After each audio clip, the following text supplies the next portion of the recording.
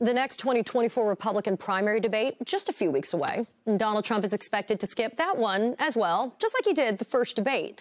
Although Trump and DeSantis share many similar traits, including their, quote, war on everything woke, DeSantis has pushed an even more extreme agenda in some ways, with Florida's version of anti-LGBTQ plus laws, draconian abortion restrictions, loosening of gun restrictions, banning DEI initiatives, whitewashing slavery, and more.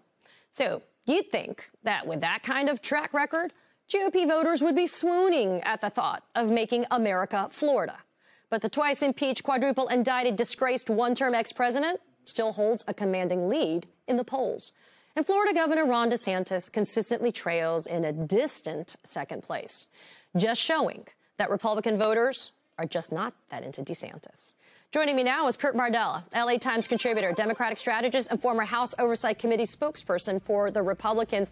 Kurt, thanks for the next installment of I'm Just Not That Into You Either. Last week we looked at Vivek Ramaswamy. This week it's Ron DeSantis. Let's start with the first topic, which is abortion. DeSantis gunning for that six week abortion ban that he got passed here, telling also Kayleigh McEnany that men should be providing financial support to pregnant women from the moment of conception because, quote, most women don't want to have abortions. Kurt, talk about why DeSantis on a national level might be such a disaster for what is already a disastrous abortion stance.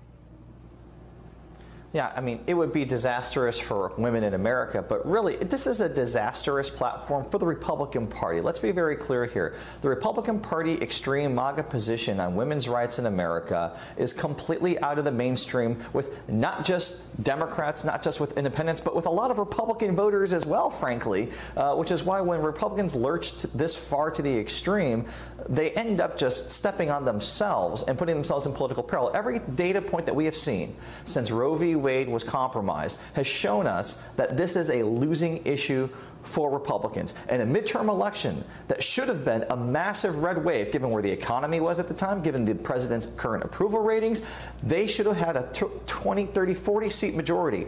Instead, because of the, the impact of Roe v. Wade, they barely got through a majority, the narrowest majority we've had in my lifetime at least. They lost a seat in the Senate. They gave political oxygen to Democrats when they had them in a very vulnerable position. And the fact that they're looking at 2024, Katie, and going, you know what?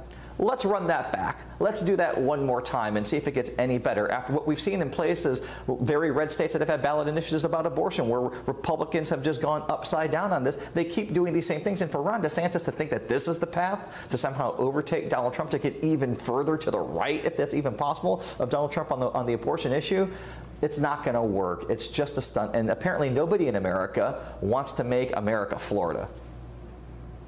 Yeah, let me be on record by saying if you're going to force women to have kids, you better damn well give them financial support. So maybe Ron DeSantis will be the first to come at bat for that. Let's switch gears now and talk about the fact that just a few days ago, a federal judge telling Ron DeSantis that his DeSantis's version of a congressional map here in Florida, quote, diminished black voters' ability to elect their candidate of choice, further advancing the GOP agenda, Kurt, of disenfranchising minority voters, especially black voters. So why should Americans not want DeSantis in the White House?